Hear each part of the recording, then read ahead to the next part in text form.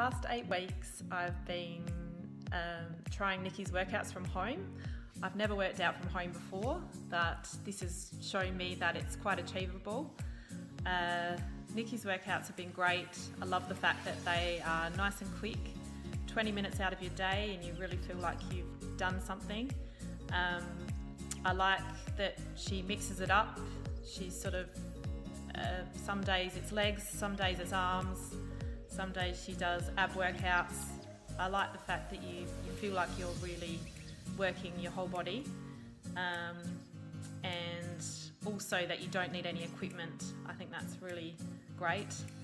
Um, and I also have been introduced to yoga and meditation, which I've really enjoyed. Overall, uh, Nicki's workouts have really helped me. Uh, I feel more motivated, I feel stronger, I feel fitter, and I'd just like to say thank you very much, Nicki. I've really enjoyed the workouts.